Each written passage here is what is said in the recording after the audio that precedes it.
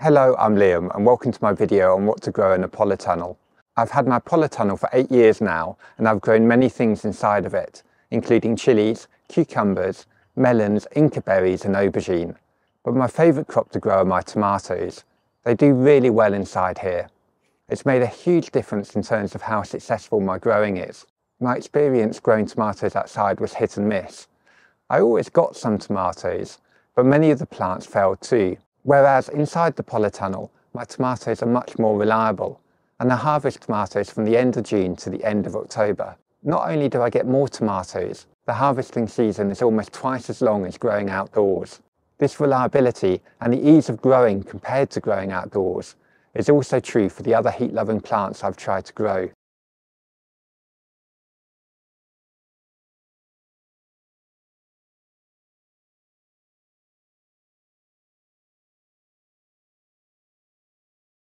My polytunnel is also extremely useful in the spring, both for germinating seedlings and for growing on young plants.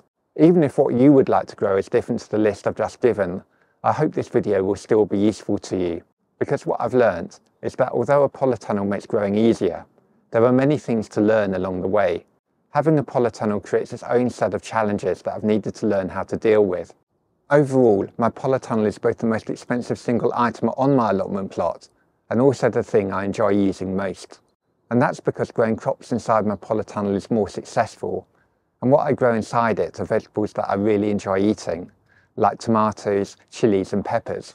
My plan is that this video will be part of a series of videos about polytunnel growing, and if you'd like to see these videos, please subscribe to the channel.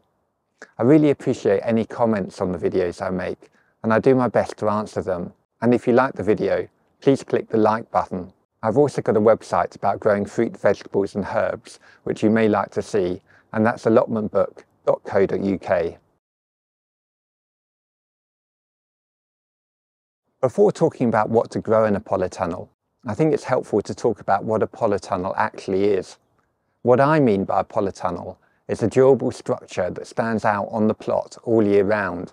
As I mentioned earlier, I've had my polytunnel for eight years and it is still standing without the need for any major repairs and with the original polythene cover. My polytunnel is about 3 metres wide and 5 metres long, which is a good size for me. I certainly wouldn't want anything smaller or narrower. A longer polytunnel would be even better, but that would be more expensive. And on price, a polytunnel like this will cost many hundreds of pounds to buy. It's a hefty investment, but in my view worth it. If I had to make a choice between buying a shed or a polytunnel, I would definitely choose a polytunnel. Polytunnels cost what they do because of the materials they're made from.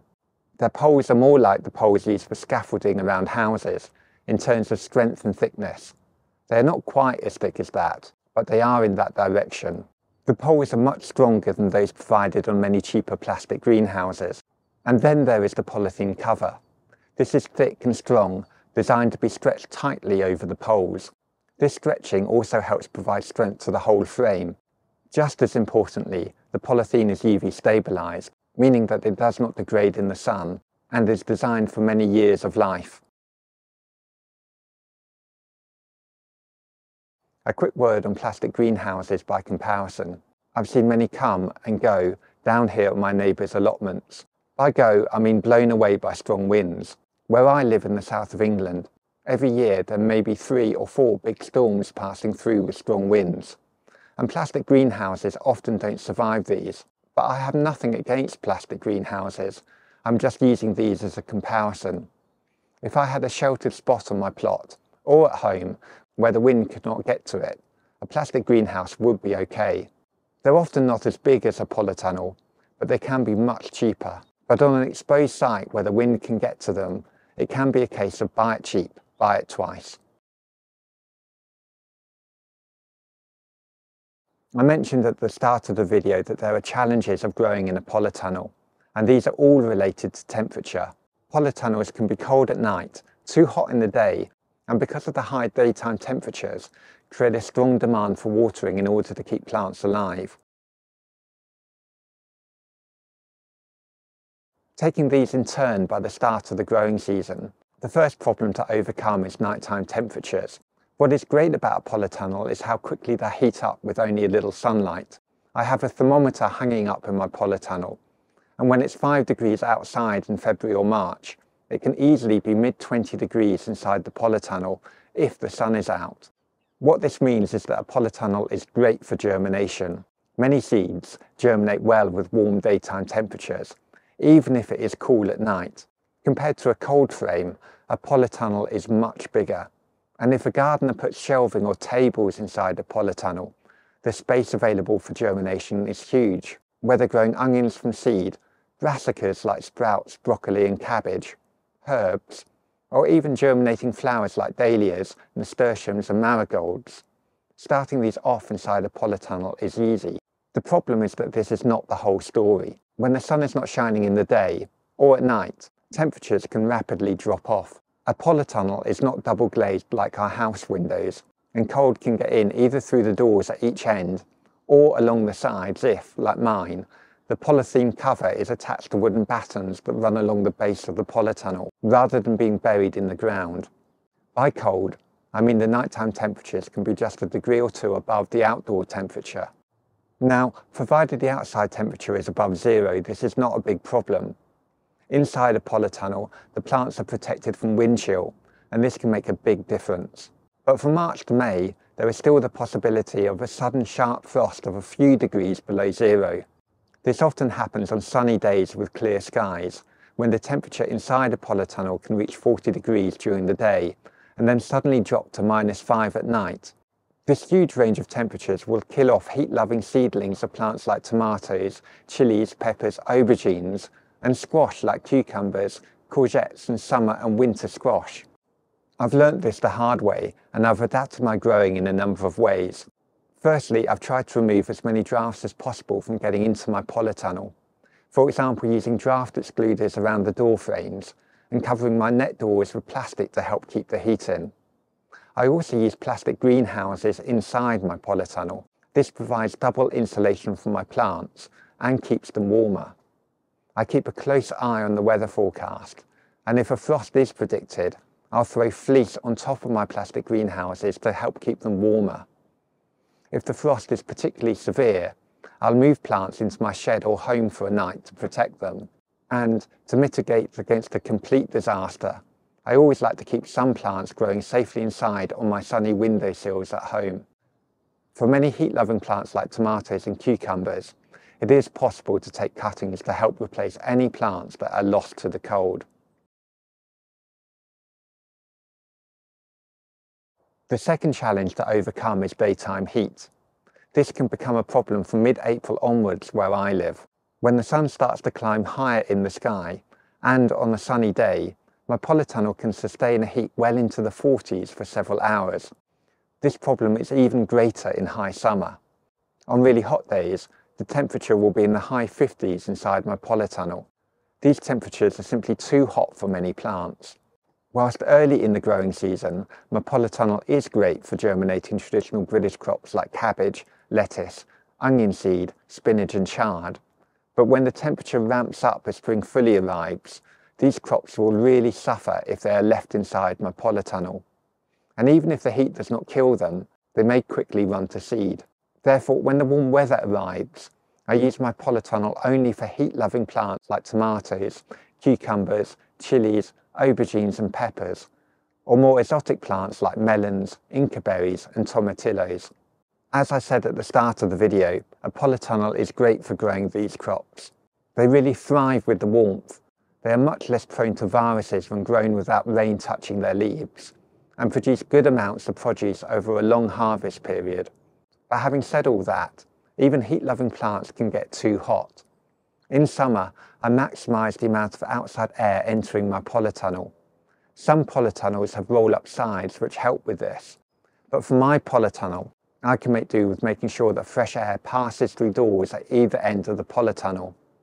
To help reduce midsummer temperatures, I also decided to position my polytunnel where it would be semi-shaded by trees in the afternoon. This has made a big difference. I've noticed that the hotter side of my polytunnel the side that gets the morning and midday sun produces less harvest than the shaded side. And the third and final challenge for growing inside my polytunnel is watering. This is related to the high temperatures, which both bakes the pots I use to grow my plants in and requires plants to need to replace more water lost through their leaves. Large plants require more water, and this often coincides with the warmest days in summer. What this means is that plants will require regular watering every day, morning and evening, and on really hot days during the day as well. The best solution to this is a drip irrigation system that provides a constant supply of water throughout the day that can also be supplemented with plant food. The solution for how to provide drip irrigation will depend on whether an allotment has access to a mains water supply. Mine does not, and therefore I've created one using a collection of water butts, a solar panel for electricity, and an electric water pump. I've created a separate video on my drip irrigation system. This has evolved slightly from when I made the video, so I may update this, and I'll link to the latest video below this one. That's the end of my introduction to what to grow inside a polytunnel. For the rest of the video, I will show how my polytunnel has looked through each month through the growing season.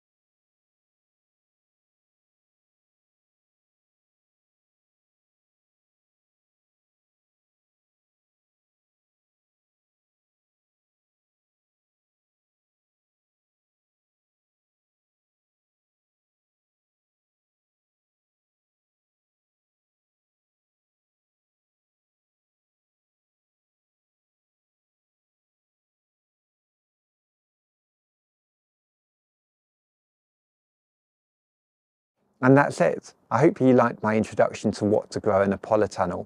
If you did, please let me know by hitting the like button or leaving a comment. I'll try to create more videos on polytunnel growing. And if you'd like to see these, please subscribe to my YouTube channel in the usual way. You may also like to visit my website, allotmentbook.co.uk